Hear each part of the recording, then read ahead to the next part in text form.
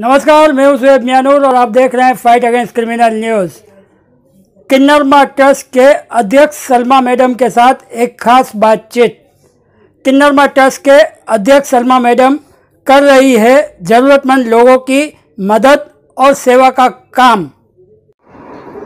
नमस्कार, सत आदाब। मैं सलमा खान किन्नरमा ट्रस्ट की संचालिका लोक अदालत की पैनल मेंबर और ट्रांसजेंडर वेलफेयर बोर्ड इस बोर्ड की उपाध्यक्षा और महाराष्ट्र राज्य कांग्रेस इसकी सेक्रेटरी। और आ, मैं आज थैंक्स करना चाहती हूँ फाइट्स अगेंस्ट क्रिमिनल चैनल का और धन्यवाद करना चाहती हूँ कि उन्होंने हमारे काम की सराहना की है और मालिक उनके चैनल को खूब ज़्यादा से ज़्यादा सक्षमता दे और खूब ज़्यादा पावरफुल चैनल फ्यूचर में वो बने और हमारी दुआएँ हैं उनके साथ। मालिक उनको अच्छा रखे। तो सलमा का स्वागत है फाइट अगेंस्ट क्रिमिनल हमारे चैनल में। तो क्या कहना चाहोगी आप इतनी निर्दय होके और आपके जो काम है हम मैं पहले से देखते हुए आ रही हूँ। तो अभी वो कहाँ तक मीन्स कितने लोग जुड़े हैं और क्या कुछ नया उसमें आया है क्या कहना चाहोगे? सबसे पहले तो मैं आपका फाइट अगेंस्ट क्रिमिनल चैनल का धन्यवाद करती हूँ। और दूसरी बात कि हम किन्नरों के राइट्स के लिए काम करते हैं। हमारे किन्नरमा ट्रस्ट उनके एजुकेशन को लेकर, उनके हेल्थ सेक्टर्स को लेकर, उनके फंडामेंटल राइट्स उनके ह्यूमन राइट्स को लेकर काम करती है। और अभी हाल फ़िलहाल में हम लोगों ने इलेक्शन कैंप लगाए हैं वैक्सीनेशन कैंप लगाए हैं। और कोविड के दो सालों में तो हम न्यूट्रिशन सपोर्ट के ऊपर काम कर रहे लोगों को सैनिटाइज़र मास्क और स्क्रीनिंग टेस्टिंग और अभी तो वैक्सीनेशन सेंटर है हमारा किन्नरमा ट्रस्ट का और बीएमसी के साथ मिलके हेल्थ मिनिस्टर ने आके इनोग्रेशन किया था। और अभी इलेक्शन कैंप भी लगे हुए हैं, जिसमें कि हमारे इलेक्शन कार्ड बन रहे हैं, आधार कैंप लगे हुए हैं। और अभी हमारी कलेक्टर जी से मीटिंग हुई थी, मुंबई कलेक्टर जो निधि चौधरी जी हैं। और वैसे ही अभी हमने बैंड्रा में अमृत महोत्सव, पंचहत्तर व देश स्वतंत्र होकर 75 फाइव ईयर्स हो गए तो उसके बारे में हाई कोर्ट के सब जस्टिस थे सेशन कोर्ट के सब जस्टिस थे फॉर ट्रांसजेंडर राइट्स उन्होंने बहुत सारी बातें करी है उन्हें बहुत बहुत सारे हम लोगों को आश्वासन दिए कि हमारी ये चीज़ें होनी चाहिए इन फ्यूचर और जो भी हमारे साथ डिस्क्रिमिनेशन होता है, उस बारे में भी बताया है उनके, और हमारे किन्नरमा ट्रस्ट के कामों का भी सराहना की है। तो ऐसे हमारे काम हो रहे हैं। और कोविड के काल में हम लोगों को बहुत सारे प्रॉब्लम्स को फेस करना पड़ा। जैसे कि हम लोगों को न्यूट्रिशन की प्रॉब्लम थी, हम लोगों को फाइनेंशियली प्रॉब्लम थी, हम लोगों को मेडिकली प्रॉब्लम थी। उस समय पे पूरा कड़क लॉकडाउन था, सब लोग घर में रह रहे थे। तो हम लोग भी घर में थे, लेकिन घर में रहेंगे तो हम महामारी से बाद में मरेंगे, भूखमारी से पहले ही मर जाते तो हमारी जवाबदारी उठाने के लिए कोई भी उस समय पे कोविड में आगे नहीं आया।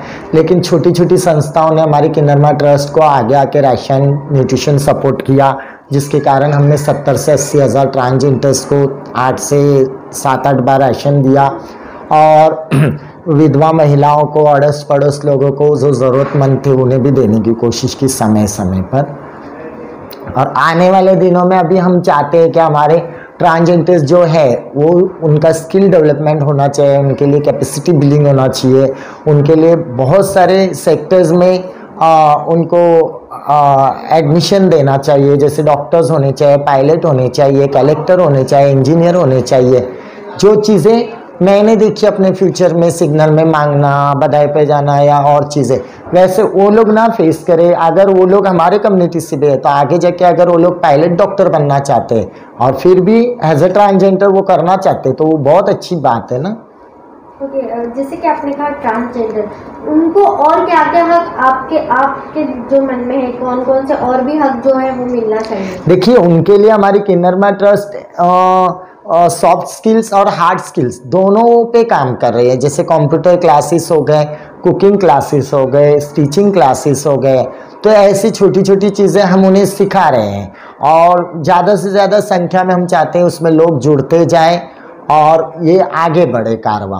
क्योंकि हम लोगों के साथ अगर उन्नति के मार्ग में भेदभाव, घर वालों के साथ भेदभाव, हमारी ज़िंदगी में जैसे हम पैदा होना बहुत बड़ा गुनाह नहीं होना चाहिए, क्योंकि हम भी इंसान हैं तो हमारे भी मानवीय हक है ना? और वो हमें मिलने चाहिए।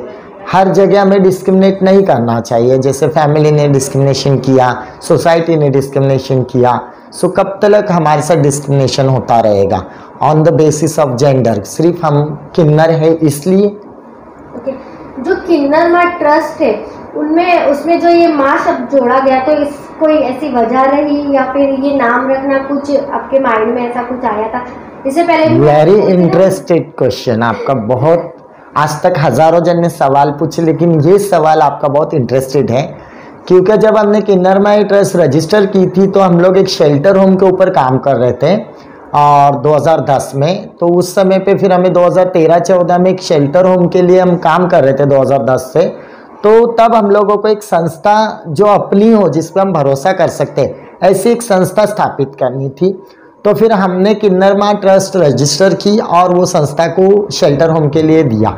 अब ये माँ शब्द उसमें इसलिए है, क्योंकि हम ट्रांसजेंडर होने के वजह से हमें भाई बहन हमें कोई भी प्यार नहीं करता है दोस्त आजू बाजू वाले सब हमारे साथ भेदभाव करते किसी ना किसी स्तर पे जाकर। लेकिन माँ सिर्फ़ ऐसी होती है कि वो हमें निशुल्क प्यार करती है, निस्वार्थ प्यार करती है, क्योंकि माँ तो माँ है। सारी दुनिया को मिलाकर माँ का दिल बना हुआ है। तो माँ ऐसी है कि अगर देसी घी का लड्डू टेढ़ा है तो भी वो मेरा है बोलेगी और वो अपने औलाद को गोद में लेगी। और चाहे उसका बेटा कैसा भी हो, उसकी औलाद कैसी भी हो, लेकिन वो उसके साथ भेदभाव नहीं करना चाहेगी। वो उसको खाना बराबर पूछेगी। कैसे है, कहाँ है, क्या खाया, कैसे हो आप? मतलब माँ को बहुत ज़्यादा हम लोगों से अटैचमेंट रहता है। क्योंकि माँ एक ऐसी होती है कि वो हम लोगों को बहुत ज़्यादा, हर एक ट्रांसजेंडर्स की माँ, किन्नरों की माँ और सबकी माँ। ऐसे नहीं कि किन्नरों के अलग से, लेकिन सबकी माँ। माँ जब प्यार करती है ना तो वो निस्वार्थ प्यार होता है, उसमें कोई स्वार्थ नहीं होता है। तो मेरी माँ ऑफ़ हो गई थी तो मुझे ऐसा लगा, मेरी माँ ने इतना हम लोगों को प्यार किया है। तो मुझे ऐसा लगा किन्नर माँ हम रजिस्टर कर रहे तो किन्नर माँ यानी किन्नरों की माँ और उसकी ममता की तरह वो काम करेगी, जिससे बच्चों को माँ संभालती है वैसे किन्नर माँ ज़मीन पे काम करेगी लोगों के लिए, और जो समय समय पे उन्होंने किया। ओके जैसे कि हम देख ही रहे हैं, आप एक माँ की तरीके से ही इसे आगे बढ़ा रहे हो। तो कितने लोग ऐसे जुड़े हैं आपके साथ? बहुत सारे जुड़े हैं। अभी मोर देन 5000 ट्रांसजेंडर्स हमारे साथ जुड़े हुए हैं। हमारी हर साल 13 जनवरी को पिंक रैली होती है, जो हमारे शेल्टर होम के लिए, हमारे राइट्स के लिए डिमांड करती है जो रैली और, उसके अलावा हमने 2016-17 में स्वच्छ भारत अभियान किया है पालघर में। ओपन डेफिकेशन फ्री के लिए हमने काउंसलिंग किया है। काउंसलिंग सेंटर के नरमा ट्रस्ट की तरफ़ से हमने करके पालघर में साढ़े सात सौ टॉयलेट बनाए, और ग्यारह गाँव में।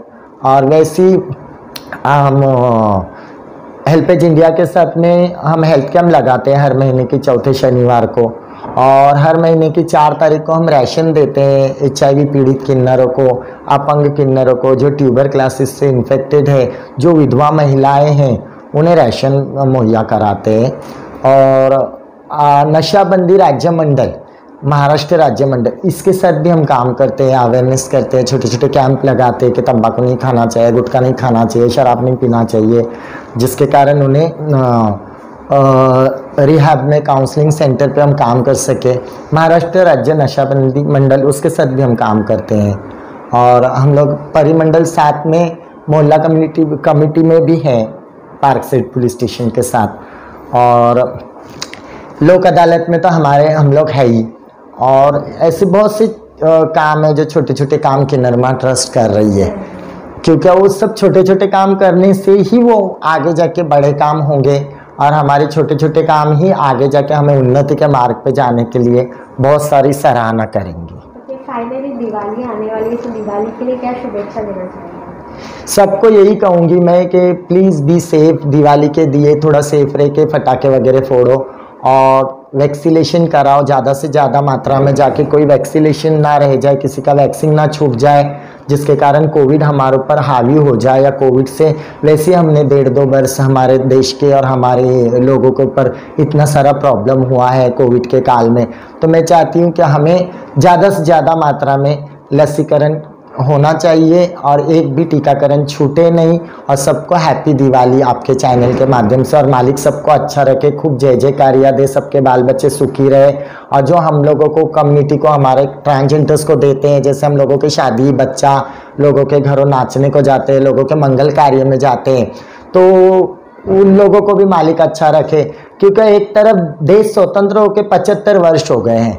और दूसरी तरफ़ हमें इनकम की कोई सोर्स नहीं है, लेकिन हम मंगलमुखी किन्नर होने के कारण लोगों के मंगल कार्य में जाते हैं, उनके बाल बच्चों का सत्कार लाते हैं, खाते हैं, और हम उनको भी दुआ देना चाहेंगे कि उनके भी बाल बच्चे अच्छे रहे और ऊपर वाला सबको सुरक्षित रखे और ये कोरोना महामारी जल्द से जल्द चली जाए हमारे देश से। मुंबई से हमारे कैमरा पर्सन सागर चौहान के साथ संवाददाता फिरदोस खान की ये खास रिपोर्ट।